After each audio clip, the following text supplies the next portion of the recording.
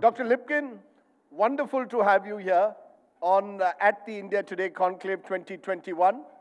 Uh, I trust you're well because I know that you had COVID also uh, a few months ago. Are you much better now? Completely all well I'm- with I'm- you? Yes, I'm much improved. I'm uh, sad that I can't be with you in person. I've been to this conclave before. It is a fantastic opportunity to exchange ideas.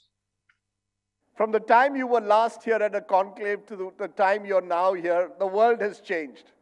And I want to start by asking you, Dr. Lipkin, in 2010, your film that you predicted this scenario of uncannily similar to COVID 19, what was it?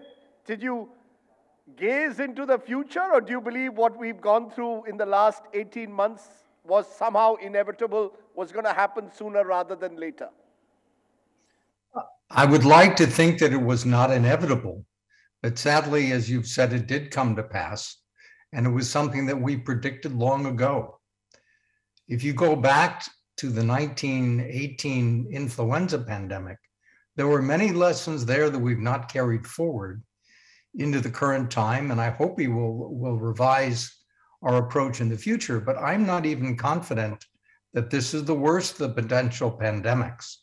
So we need to make sure that whatever we've learned here carries forward into the next months and years. So this is um, this has been devastating in turn in ethical terms and loss of life, economically, political instability, uh, and we must learn from these mistakes.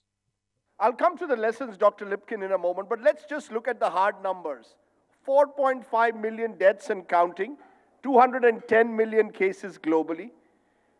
Has this been far worse than you imagined, or do you believe actually, given the fact that we've now got a vaccine much faster than ever in the past, we've managed relatively well? I think the numbers, as we will eventually find them to be, are going to be much worse than what you've just cited. Many of us believe that there's an undercounting and that it may be as much as tenfold. Then, of course, you have the economic fallout, which has been staggering. The estimates from The Economist are that by 2025, we will have lost 22 trillion US dollars in GDP. India alone has probably lost close to a trillion dollars in GDP. This has been a staggering burden on the whole world in human terms, economic terms, and so on. Can I ask Is you, the Dr. worst, yeah, is the worst behind us? I think it probably is. But saying that, I have to acknowledge that this virus has surprised us continuously since it first emerged. So, is the worst over? It's a question I'm sure that you're being asked increasingly. Can we confidently say that the worst of the pandemic is over?